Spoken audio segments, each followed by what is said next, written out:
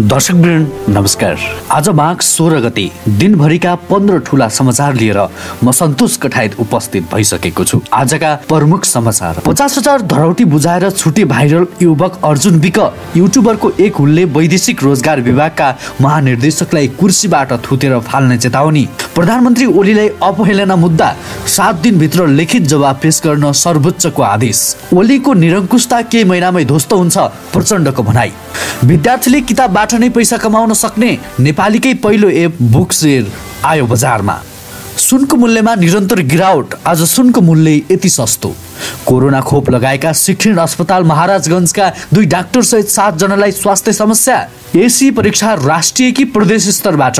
यसबारे महत्त्वपूर्ण जानकारी। आन्दोलनले देशव्यापी जागरण पैदा गरेको निष्कर्ष अठाइस गते विशाल जनप्रदर्शन हुँदै। सैनिकको पेन्सन अवधि घटाउने प्रस्ताव शर्तसहित स्वीकृत। जारको खानेपानीमा बिचौलियाको रजाई एक जार पानी साठी रुपियाँसम्म। कक्षा बाह्रको परीक्षा तिस पूर्णाङ्कको नम्बर दिइयो साठी। यसबारे सम्पूर्ण जानकारी। दर्शकबिन सुरुमा भाइरल अर्जुन छुटेको प्रसङ्ग। अनामनगरमा बच्चा बोकेर रिक्सा चलाएको तस्विर सार्वजनिक भएपछि भाइरल भएका युवक अर्जुन विकलाई धरोटीमा छाड्न अदालतले आदेश दिएको छ। अपहरण तथा शरीर बन्धक गरी बालिकामाथि जबरजस्तीकरणी गरेको अभियोगमा अदालतले पचास हजार धरौटी लिएर छाड्न आदेश दिएको हो। जिल्ला प्रहरी कार्यालय कैलालीका डिएसपी प्रतीक विष्टका अनुसार बिक धरौटी बुझाएर छुटिसकेका छन्। घोडाघोडी नगरपालिका दुई साने पानी घर भएका अर्जुन विकलाई आफ्नै पत्नीलाई जबरजस्तीकरण गरेको अभियोग थियो। अदालतबाट जारी वारेन्टका आधारमा काठमाडौँको तिनकुने क्षेत्रबाट उनी पक्राउ परेका थिए। विकले गत तिस साउनमा काठमाडौँको देवीनगरी स्थित डेरामा तेह्र वर्षीय बालिकालाई बलात्कार गरेको आरोप बनिएको। ती बालिकालाई उनले श्रीमती बताउने गरेका थिए तर कानुन त अठार वर्षभन्दा मुनि सहमतिमै शारीरिक सम्पर्क गरेमा पनि जबरजस्ती गर्ने मानिने भएकाले उनी विरुद्ध मुद्दा परेको थियो। बच्चा जन्माएपछि आफ्नो श्रीमती अरूसँगै पहिलो गएको भन्दै उनले विभिन्न युट्युब च्यानलमा अन्तर्वार्ता समेत दिएका थिए। त्यसै गरी नेपाल कम्युनिस्ट पार्टी नेकपाको प्रचण्ड माधव समूहका अध्यक्ष पुष्पकमल दाहाल प्रचण्डले केपी शर्मा ओलीको निरङ्कुशतालाई ध्वस्त पार्ने बताएका छन्। ओलीलाई आफैले प्रस्ताव गरेर अध्यक्ष र प्रधानमन्त्री बनाएको स्मरण गर्दै प्रचण्डले केपी ओली सामन्ती निरङ्कुशताको एजेन्ट जस्तो देखिएको भन्दै प्रचण्डले ओलीको निरङ्कुशता केही महिना मात्र टिक्ने बताए। प्रतिनिधि सभा विघटन विरुद्ध सो समूहले बुटवलमा गरेको विरोध सभालाई सम्बोधन गर्दै प्रचण्डले सर्वोच्च अदालतले प्रतिनिधि सभा पुनः पुनर्स्थापना गर्ने विश्वास व्यक्त गर्दै प्रचण्डले घुमाउरो भाषामा अदालतले नगरे जनताको अदालतले गर्ने बताए ओलीको निरङ्कुशता चुड्कीको भरमा ध्वस्त हुनेछ। केही महिनाभित्र प्रचण्डले भने संसद पुनर्स्थापना हुन्छ। अदालतप्रति विश्वास छ तर सबभन्दा ठुलो अदालत जनता हो। ओलीले पार्टी एकता तोड्ने र संविधानको घाँटी रेट्ने काम गरेको प्रचण्डले आरोप लगाए। दुई वर्षभित्र आफ्नो पार्टी सरकारमा जाने र नयाँ नेपालको जग बसाल्ने प्रचण्डले बताएका छन्। त्यसै गरी अर्को महत्त्वपूर्ण खबर। विभागमा आएर केही काम नगरेको भन्दै महानिर्देशक दाहाललाई कुर्सीबाट थुतेर फाल्ने चेतावनी दिएको भिडियो अहिले सामाजिक सञ्जालमा भाइरल बनेको छ। बिहिबार दिउँसो साढे तिन बजे वैदेशिक रोजगार विभागको कार्यकक्षमा एउटा हुल प्रवेश गर्यो। महानिर्देशक कुमार दाहालको कार्यकक्षमा क्यामेरा बोकेर करिब डेढ दर्जन युट्युबरहरू प्रवेश गरेका थिए। आफूलाई सामाजिक अभियन्ता बताउने हेमराज थापाको नेतृत्वमा सो हुल विभागमा प्रवेश गरेको थियो। थापा बाहेक अरूले चाहिँ आफू पत्रकार भन्ने परिचय दिइरहेका थिए। सुरुमा थापाले आफूलाई वैदेशिक रोजगारीमा गएकाहरू गुनासो गर्दै आफू कहाँ आएको भन्दै विभाग के हेरेर बसेको छ भनेर प्रश्न गरे। उनले पीडितको हो त्यसबारे विभागलाई सपरमार जानकारी दिए। आफू कसैलाई पनि कारवाही गर्नबाट पछि नपर्ने बताए। तर क्यामेरा बोकेकाहरूले विभागमा आएर केही काम नगरेको भन्दै महानिर्देशक दाहाललाई कुर्सीबाट थुतेर फाल्ने चेतावनी दिए। युट्युबरहरूले आफूसँग वैदेशिक रोजगारीमा ठगिएका पीडित र एक एक प्रमाण आफूहरूसँग रहेको बताए। तर हुलमै सहभागी एकजनाले आफू वैदेशिक रोजगारीबाट ठगिएको पीडित बताए पनि आफूसँग मेन पावर व्यवसायलाई पैसा दिएको कुनै प्रमाण नभएको उनले बताएका थिए। दर्शक त्यसै गरी सर्वोच्च अदालतले प्रधानमन्त्री केपी शर्मा ओलीलाई लिखित जवाबसहित उपस्थित हुन आदेश दिएको छ। बिहिबार अदालतको अपहेलना मुद्दामा न्यायाधीश डाक्टर मनोज कुमार शर्माको एकल इजलासले प्रधानमन्त्री ओलीलाई लिखित जवाब पेश गर्न आदेश दिएको हो। सर्वोच्च अदालतले अधिवक्ता कञ्चन कृष्ण नेउपानेको मुद्दामा सुनवाई गर्दै यस विषयमा के भएको हो माघ बमोजिम अपहेलना कारवाही किन हुनुपर्ने हो म्याद प्राप्त भएको मितिले बाटाका म्याद बाहेक सात दिनभित्र सबै बेहोरा खुलाई आफै लिखित जवाब पेश गर्न आदेश दिएको हो। प्रधानमन्त्री ओलीले संसद विघटनको मुद्दामा संवैधानिक इजलासमा बाजे वकिल लगेर तमासा गरेको भन्ने अभिव्यक्ति दिएका थिए। त्यसपछि अधिवक्ता नेउपानेले अदालतको अवहेलना मुद्दा दर्ता गराएका थिए। त्यसै गरी स्कुल कलेज एवं पढ्नमा रुचि राख्ने जो कसैले पनि अब पढाइसँगै पकेट खर्च समेत कमाउन सक्ने भएका छन्। त्यसका लागि नेपालमै बुक सेयर एप सार्वजनिक भएको छ। यो एपमा गुगल प्ले स्टोर वा एप्पल स्टोरबाट डाउनलोड गर्न सकिनेछ। यस एपमा आफ्नो अकाउन्ट खोलिसकेपछि आफूसँग भएको किताब भाडामा लगाउन बेच्न वा निशुल्क दिन सकिनेछ। मानौ तपाईँले बुक सेयरमा कुनै उपन्यास एक दिनको तिस रुपियाँका दरले भाडामा लगाउनु भयो भने तपाईँले एक किताबबाटै पाँच दिनमा एक सय पचास रुपियाँ कमाउन सक्नुहुनेछ। मानौ पाँच किताब प्रति किताब तिस रुपियाँका दरले भाडामा लगाउनु भयो भने दिनकै एक सय पचास रुपियाँ कमाउन सकिन्छ। एपबाटै किताब बेच्न पनि सकिन्छ। पुरानो किताबहरू सस्तो मूल्यमा बेचेर पनि सानोतिनो आम्दानी गर्न सकिने भएको छ। त्यस्तै पाठकहरूका एक हजार पर्ने कुनै उपन्यास पाँच दिनमा एक सय पचास रुपियाँमै पढ्न सकिन्छ। एकपटक पढिएका उपन्यास या पुस्तक सस्तो मूल्यमा किनेर समेत पढ्न सकिन्छ। कुनै पनि व्यक्तिले किताबको खोजी गर्दा आफ्नो ठाउँ नजिकको मान्छेले बेच्न या भाडामा राख्न लगाएको सो किताब एपले सहजै देखाउँछ र त्यसपछि उक्त किताब भाडामा ल्याएर किनेर पढ्न सकिनेछ। बुक सेयरमा स्कुल कलेजका अर्थात् एकाडेमिक किताब मात्रै नभएर उपन्यास कथा कहानी लगायत सबै किसिमका किताबहरू किन्न र बेच्न र भाडामा लेनदेन गर्न सकिन्छ। काठमाडौँ पोखरा हेटौडा बिरगन्ज बुटोल नारायणघाट लगायतका देश सबै जिल्ला र सहरमा भएका विद्यार्थीहरूले यो प्रयोग गरेर आम्दानी गर्न सक्छन्। प्रविधिको विकास हुँदै जाँदा नेपालमा विद्यार्थीहरूले सहजै पैसा कमाउन सक्ने प्लेटफर्मका रूपमा बुक सेयरलाई लिन सकिन्छ। दर्शकवृन्द यो समाचार तपाईँलाई कस्तो लाग्यो? के यसरी साँच्चीकै पैसा कमाउन सम्भव होला त? तपाईँलाई के लाग्छ?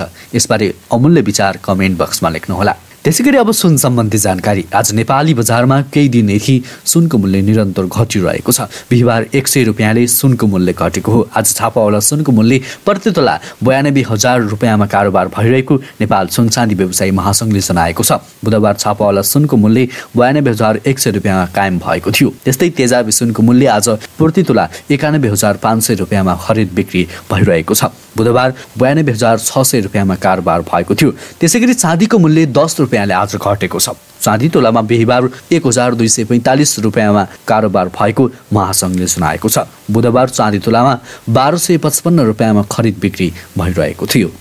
त्यसै गरी अर्को समाचार। शिक्षण अस्पताल महाराजगञ्जमा कोरोना विरुद्धको खोप लगाएका केही डाक्टरहरूलाई साइड इफेक्ट देखिएको छ। अस्पतालका निर्देशक डाक्टर दिनेश काफ्लेका अनुसार हिजो खोप लगाएका सातजनालाई बिबिरासहित मध्यम असर देखिएको छ। उहाँहरूलाई बिबिरा ज्वरो आउने टाउको दुख्ने शरीर दुख्ने लक्षण देखिएको हो। नेपालमा हिजोदेखि कोरोना विरुद्धको खोप अभियान चलिरहेको छ।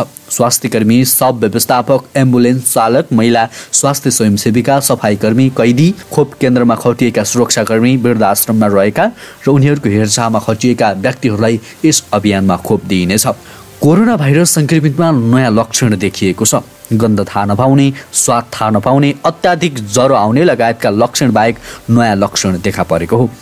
पछिल्लो समय लामो समयसम्म कोरोनाको लक्षण देखिएकोमा थप नयाँ लक्षण देखिएको बेलायतका इएनटी सर्जन प्रोफेसर निर्मल कुमारले बताउनुभयो। उहाँका अनुसार लामो समयसम्म लक्षण देखा परेको कोरोना सङ्क्रमितको शरीरबाट माछा जस्तो कडा गन्ध आएको छ।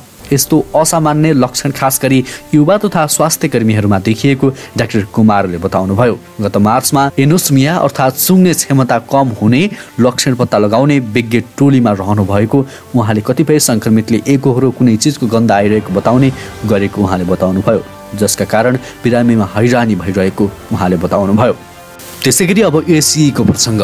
कोरोना महामारी र बन्दाबन्दीका कारण गत वर्ष विद्यालयको आन्तरिक मूल्याङ्कनका आधारमा नतिजा प्रकाशन गरिएको कक्षा दसको माध्यमिक शिक्षा परीक्षा एसी यस वर्ष कुन विधिबाट गर्ने भन्नेमा गृह कार्य सुरु भएको छ। मन्त्री परिषदको गत जेठ अठाइस गतिको बैठकले विद्यमान शिक्षा ऐनको बाधा अड्काउ फुकाउको व्यवस्था प्रयोग गरी निर्णय गरी सम्बद्ध दुई हजार छिहत्तरको सो परीक्षा सम्बन्धित विद्यालयको अन्तिम मूल्याङ्कनका आधारमा नतिजा प्रकाशन गर्न निर्देशन गरेको थियो। उक्त निर्णय कार्यान्वयनका लागि राष्ट्रिय राष्ट्रिय परीक्षा बोर्डले विद्यार्थी नतिजा प्रकाशन तथा प्रमाणीकरण कार्यविधि दुई हजार सतहत्तर जारी गरी विद्यार्थीको अन्तिम मूल्याङ्कनका लागि सम्बन्धित प्रधानध्यापकको संयोजकत्वमा समिति गठन गरेको थियो। यसरी मूल्याङ्कन गर्दा सम्बन्ध दुई हजार छिहत्तरको कुल पूर्णाङ्कको सैद्धान्तिक र प्रयोगत्मक गरी पहिलो त्रैमासिकको दस दोस्रोको तिस र तेस्रो त्रैमासिक परीक्षाको साठी प्रतिशत अङ्कभार दिने गरी ग्रेड निर्धारण गरिएको थियो।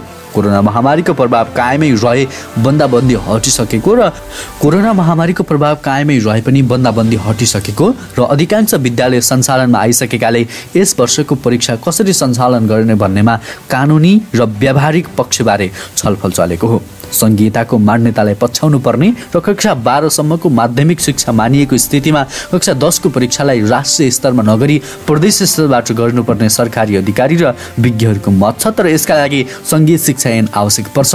विद्यमान कानुनले कक्षा दस एघार र बाह्रको परीक्षा राष्ट्रिय परीक्षा बोर्डको कार्यक्षेत्रमा राखिएकाले अन्यल उत्पन्न भएको हो। त्यसै गरी नेपाली सेनाका फलोवर्स तथा सिपाहीले सोह्र वर्ष सेवा अवधि पुरा गरेपछि स्वैच्छिक अवकाश लिएर निर्वत्त भ्रमण पाउने भएका छन्। एकपटक जङ्गी अड्डाले यस सम्बन्धमा पठाउने गरेको प्रस्ताव अर्थ मन्त्रालयबाट अस्वीकृत हुने गरेको थियो तर केही प्रावधान फेरबदलसहित हालै पठाएको प्रस्तावलाई अर्थ र सामान्य प्रशासन मन्त्रालयले स्वीकृति दिएपछि उन्तिस पुसमा बसेको मन्त्री परिषद बैठकले सैनिक ऐनलाई संशोधन गर्ने निर्णय गरेको हो।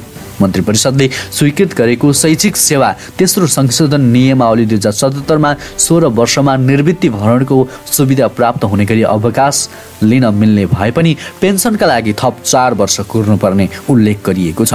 सैनिक स्रोतका अनुसार आर्थिक भार हुने भन्दै अर्थ मन्त्रालयले पटक पटक प्रस्ताव फिर्ता पठाइदिन थालेपछि बिस वर्षपछि मात्रै पेन्सन पाइने गरी मध्यमार्गी निर्णय गरिएको हो। यही प्रावधानसहित पिउट अमलदार र हुद्दाले सत्र वर्ष जमदारले अठार वर्ष सुविधार प्रमुख सुविधारले उन्नाइस वर्ष र सहायक सेनानी त्यसभन्दा माथि प्रधान सेनापतिसम्मले बिस वर्षमा अवकाश लिन सक्ने भनिएको छ। यो निर्णय अठाइस वैशाख दुई हजार साठी वा त्यसभन्दा पछि भर्ना भएका सैनिकहरूको हकमा मात्र लागू हुनेछ। सुरक्षा निकायमा तल्लो दर्जाका कर्मचारीले पेन्सन अवधि पुग्ने बित्तिकै राजीनामा दिएर अन्य काम गर्ने प्रविधि छ। अर्थले पछिल्लो पटक पठाएको पत्रमा नेपाल सरकारको पेन्सनको दायित्व बढ्दै गएको अवस्थामा अन्य सरकारी सेवामा रहेको अवकाश र पेन्सन सम्बन्धी व्यवस्थामा एकरूपता कायम गर्नुपर्ने आवश्यकता रहेकाले सेवा अवधि घटाएर संशोधन प्रस्तावमा सहमत हुन नसकिने भनिएको थियो। कोटेश्वर बस्ने रामेछापका देवेश सुनारलाई खाना पकाउन पनि जारको पानी प्रयोग गर्नै पर्ने बाध्यता छ। तर एउटा आइटी कम्पनीमा कार्यरत उनलाई सातामा पाँच जार पानी चाहिन्छ। दसैँ अघिसम्म चालिस रुपियाँमा पाइने एक जार पानी अहिले महँगिएर पचास रुपियाँमा पुगेको उनले बताए। दसैँमा घर फर्किँदा एक जार पानीको भाउ दस रुपियाँ बढेछ। उनी भन्छन् पसलेसँग गुनासो गर्दा कम्पनीबाट बढेर आएको छ भन्छन्। त्यसै गरी असनका होलसेल प्रुस गार्मेन्ट व्यापारी खगेन्द्र मुलापाती एक जार पानीलाई साठी रुपियाँ तिर्न थालेको करिब एक वर्ष भएको सुनाउँछन्। बोकेर ल्याएको समेत भन्दै पसलेले साठी रुपियाँ लिने गरेको उनले बताए। सुनार र मुलापाती मात्र होइन हामीले कुरा गरेका कैयौँ उपभोक्ताहरू दैनिक प्रयोग गर्ने पानीमा ठगिन परेको गुनासो गर्छन्।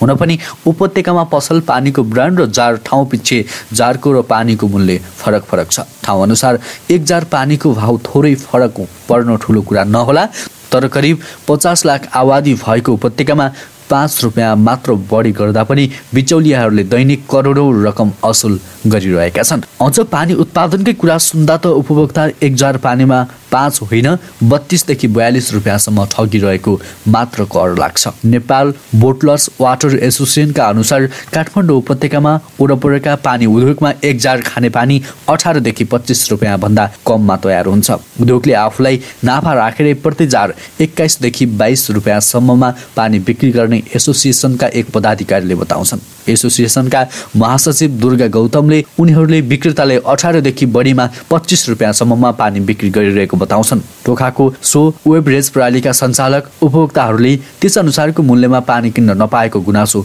हामीलाई सुनाएका छन्। उपभोक्ताले फ्याक्ट्री मूल्यभन्दा बत्तिसदेखि बयालिस रुपियाँ बढी तिर्न परेको उनले सुनाए। एक जार पानी चक्रपथ बाहिर पचास र भित्र साठी रुपियाँसम्ममा बिक्री भइरहेको उनको भनाइ छ।